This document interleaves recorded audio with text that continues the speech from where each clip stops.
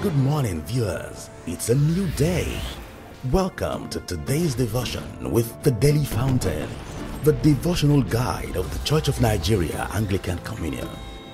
Invite your family and friends. Get your Bible and your Daily Fountain manual while our devotional leader takes us on today's devotion. Good morning, viewers. Good morning to you, brothers and sisters out there. It is my prayers that the grace of God will continue to abide with you, not only today, but throughout your lifetime, in Jesus' name. You are welcome to today's devotion in the Daily Fountain, which is the daily devotional guide of the Church of Nigeria Anglican Communion. You are viewing live from Anglican Cable Network TV. Let us pray. God Almighty, we say thank you. Thank you for your goodness. Thank you for your love. Thank you for your care. Thank you for your provision. Thank you for your sustenance. Thank you for everything. Thank you in the name of Jesus Christ. We say, thus far, you have helped us, Lord. Thus far, you have sustained us, Lord. Thus far, you have bear us through. We say thank you in the name of Jesus Christ. Everlasting Father, we again confess our sins before you, and we ask that you forgive us our sins in the name of Jesus. Father, we are gathered again as your children to learn from you, to receive strength from you, to renew our strength. Righteous One, breathe upon us in the name of Jesus Christ. The scripture says, Your word gives life. We therefore pray that the entrance of your word, O Lord, this morning, will give light, will give life, will give illumination to us in the name of Jesus Christ. Thank you, righteous one. Blessed be your name. In Jesus' mighty name, we pray. Today is Thursday, the seventh day of the month of November. The text before us is taken from the book of Daniel, chapter 2, verse 1 through 13. The book of Daniel, chapter 2, verse 1 through 13. I read from the New King James Version. Now, in the second year of Nebuchadnezzar, Nebuchadnezzar's reign, Nebuchadnezzar had dreams, and his spirit was so troubled that he sleep left him. Then the king gave the command to call the magicians, the astrologers, the sorcerers, and the Chaldeans to tell the king his dreams. So they came and stood before the king. And the king said to them, I have had a dream, and my spirit is anxious to know the dream. Then the Chaldeans spoke to the king in Aramaic, O king, live forever. Tell your servants the dream, and we will give the interpretation. The king answered and said to the Chaldeans, My decision is firm. If you do not make known the dream to me and its interpretation, you shall be cut in pieces, and your houses shall be made as ash heap. However, if you tell the dream and its interpretation, you shall receive from me gifts, rewards, and great honor. Therefore, tell me the dream and its interpretation. They answered again and said, Let the king tell his servants the dream, and we will give its interpretation. The king answered and said, I know for certain that you will gain time because you see that my decision is firm. If you do not make known the dream to me, there is only one decree for you. For you have agreed to speak lying and corrupt words before me till the time has changed. Therefore, tell me the dream, and I shall know that you can give me its interpretation. The Chaldeans answered the king and said, There is not a man on earth who can tell the king's matter. Therefore, no king, lord, or ruler has ever asked such things of any magician, astrologer, or Chaldean. It is a difficult thing that the king requests, and there is no other who can tell it to the king except the gods, whose dwelling is not with the flesh. For this reason, the king was angry and very furious and gave the command to destroy all the wise men of Babylon. So the decree went out and they began killing the wise men. And they sought Daniel and his companion to kill them. This is the word of the Lord. Thanks be to God. The theme for our meditation is the superiority of divinity over humanity. The superiority of divinity over humanity. Let's go back to our daily fountain meditation. Nebuchadnezzar, king of Babylon, saw himself as supreme monarch and dictator of his time.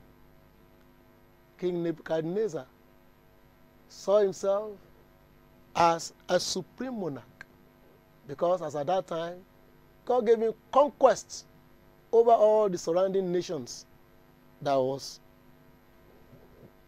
was available then in his time. So he was a dictator. The lives of his subjects was at his discretion, and his word and command was law. As at that time, whatever he says is final, like the laws of the Persians and the Medians. In fact, the lives of the citizen is at his mercy.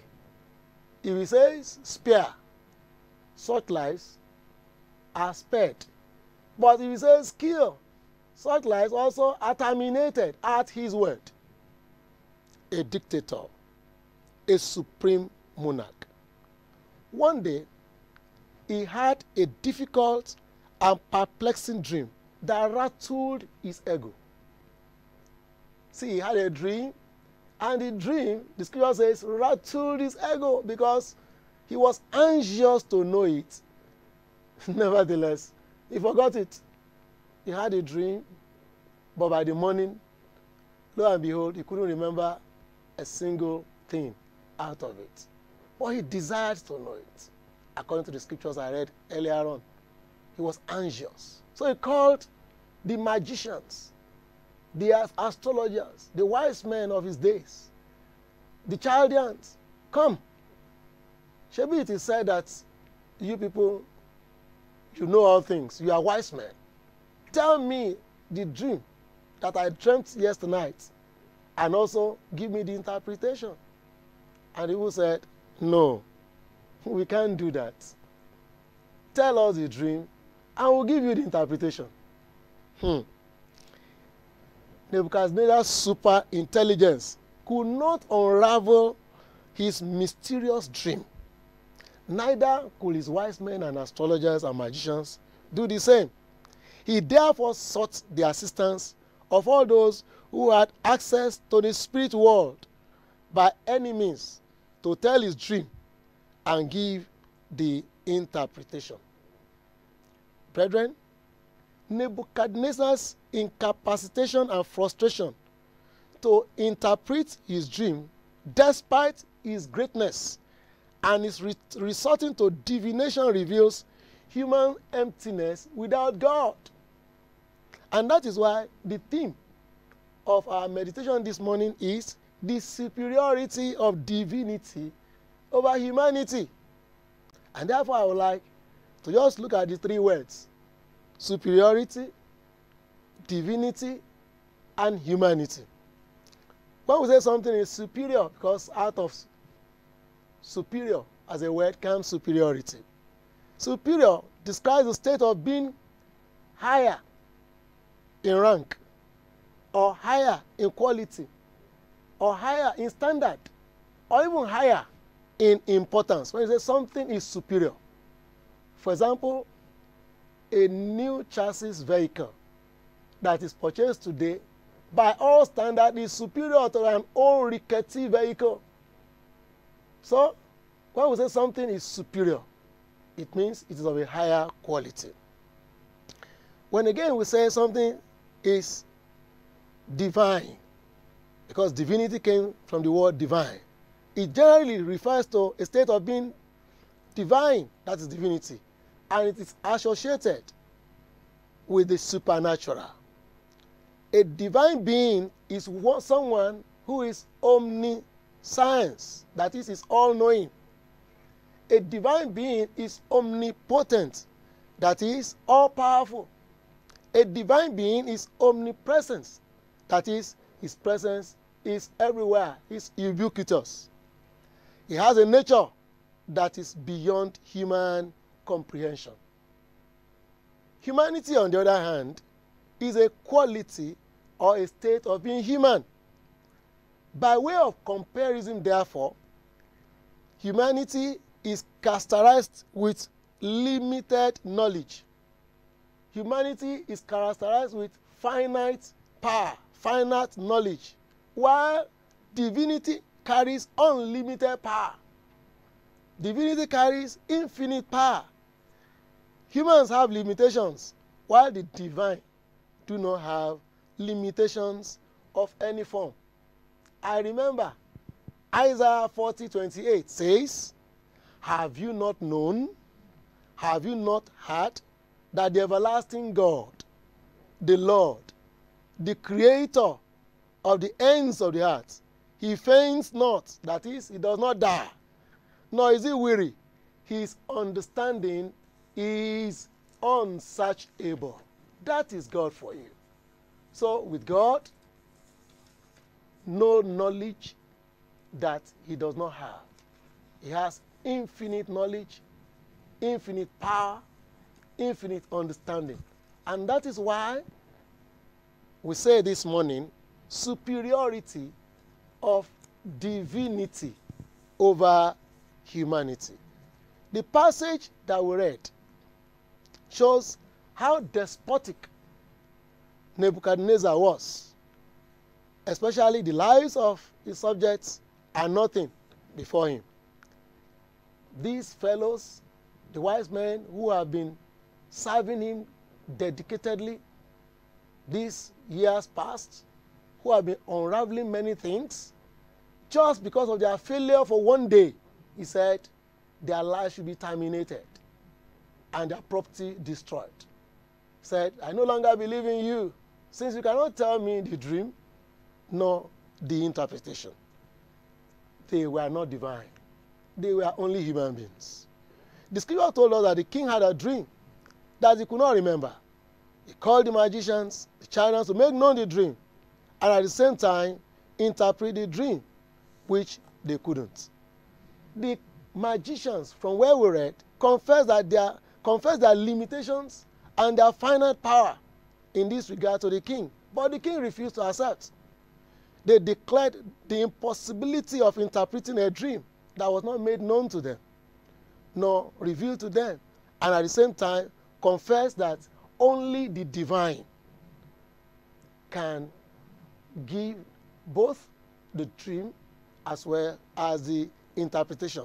I deduce this from verse 10 of the chapter that we read, uh, Daniel chapter 2. We'll check verse 10. It says, The Chaldeans declared, There is not a man upon earth that can show the king the matter. Therefore, there is no king, no lord or ruler that asks such things at any magician or astrologer or Chaldean. What the magicians were saying is that no human can give it except the divine. So, this the statement of the Chaldean shows the limitation and the extent they can go when it comes to spiritual matter. If we also look at the last part of verse 11, the Chaldeans acknowledge the superiority of the divine over humanity. They declared there is none other that can show it before the king except the gods. That is what verse 11c said. Except none other that can tell it to the king except the gods, whose dwelling is not with flesh. They acknowledge divinity over humanity.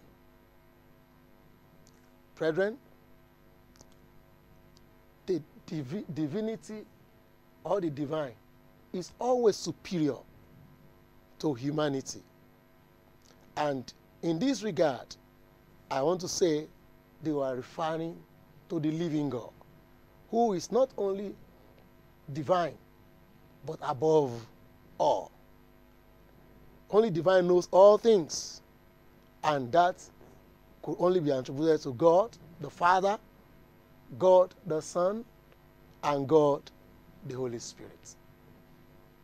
Beloved people of God, what is your condition at the moment? That you are thinking God does not see. That is not true. God sees all things. He knows all things. He knows your predicament. And one thing is sure, He can bring you out of it. All you need to do is go to Him in faith. In faith. He sees your condition. And at the same time, He knows the solution to your case. He will send you a Daniel to help you. Nebuchadnezzar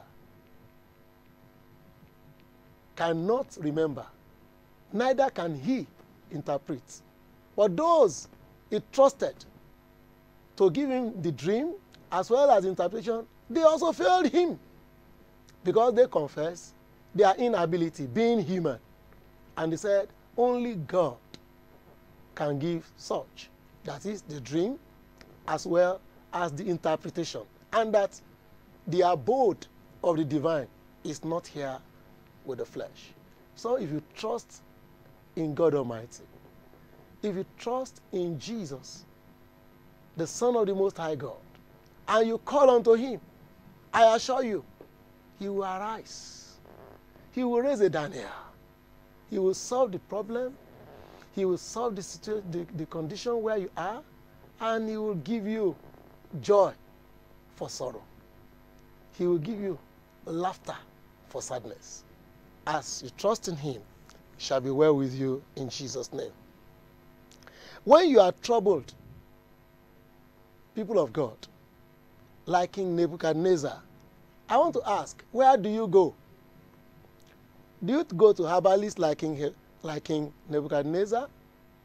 Do you go to spiritual houses? Do you go to necromancers? All these ones cannot help you. oh. They can't. They can't. The astrologers, the Chaldeans, the magicians failed Nebuchadnezzar. Though, in his defense, we can say that was the culture in what, which he grew up. And that is why he went to them to look for succor, to look for solution. But here in the modern day, God has given us a better hope, a better solution, and that is only found in Jesus. We need not go to herbalists. We need not go to necromancers. We need not go to spiritual houses for solution. all we need do is go to Jesus, the Son of the Most High God, and He will solve the problem. He will bring you out of that mess, that trouble. He will give you a solution to it. So you need to go to Jesus and not to these people. You need to go to the Most High God rather than moral men who are limited in power, in knowledge, for they cannot save you. The psalmist says in Psalm 121, verse 1, says, I will look upon the hills, from whence comes my help. Again, he answers in verse 2, My help comes from the Lord, who makes the heavens and the earth. If you go through that eight verses of Psalm 121, you will see God assuring us of His presence and ability to help us out in whatever condition we find ourselves. One thing I know is that examples abound. How people go to spiritual houses, and right there in the spiritual houses, their problems were further complicated. Yes, they will take away uh, the pain and they will give you agony. Yes, devil never gives anything for free. He is the one repeated in Yoruba land that he gives you a cap and he collects your head in return. So it's better you don't go to him. Go to Jesus and he'll be there for you. Nebuchadnezzar approached to know the interpretation of dreams through this magician, as I said earlier, may be influenced because of his background. And that's why he seeks divine help. But now we know better. Please go to Jesus and you'll be happy you, you did. We should develop the ability to hear God's voice like Samuel, to know his will in every issue in our lives through the habit of intimacy with God by reading his word and by praying always. We need to do this because Daniel had been going to God before. He knew God and approached him. So God was there for him. But if he has not been doing that before, if there was not intimacy between him and God, definitely he won't be able to do what he did. But he was confident. He said, Give us some time. Let us see God. And he approached the divine. And the divine was there to reveal the secret. The divinity of God could also be seen in Psalm 139. If you read verses 1 to 12, He knows all things, sees all things about you. He could see the burden in your heart, the groaning in your heart. All you need do is to come to Him. He said, He said in Matthew chapter 11, verse 28, Come to me, all ye who labor and are heavy laden, and I will give you rest. So come to Jesus, and He'll be there to help you out. Brethren, seek Jesus when it is good and when it is not too pleasant. Seek Jesus when it is pleasant and when it's not pleasant. And He will be there whenever you are troubled. Again, we should develop the very important instinct of hearing God's voice to know His will in every issue in our lives through the habit of intimacy with God. That is the good counsel from Daily Fountain this morning. Develop that habit of intimacy with God. Remember, Daniel, Shadrach, Meshach, and Abednego already had an intimacy with God. And that's why they were confident and they said, Give us a few time, we'll come back to you. Their trust paid off. God revealed the dream, gave the interpretation, and their lives were spared. So, develop that intimacy today by reading the scriptures, by praying regularly, having given your life to Christ. Worship in a Bible believing church, and it shall be well with you. I want to conclude by saying what your human effort cannot solve, the power of the divine, the power of God is always available to deal with it. Thank you for listening attention this morning. And the Lord God will bless you in Jesus' name. The food for thought this morning is those who seek God will find Him when they seek Him with all their heart. Those who seek God will find Him when they seek Him with all their hearts. Let us pray. Thank you, righteous one, for your word. Thank you for the breath of life that you have received. We pray grace to always trust you, grace to depend on you, and grace not to be put to shame. Grant unto us, even as we go about our daily duty. For in Jesus' mighty name we pray. Amen. Wishing you a beautiful day. God bless you. We thank you for fellowshipping with us today. We invite you to join us tomorrow morning, same time, same station, for another special edition of the Daily Fountain. If you are led to sponsor or support this program, please contact the numbers and email all showing on your screen. Also, subscribe to our YouTube channel at youtube.com slash acnntv. Visit our website www.acnntv.com.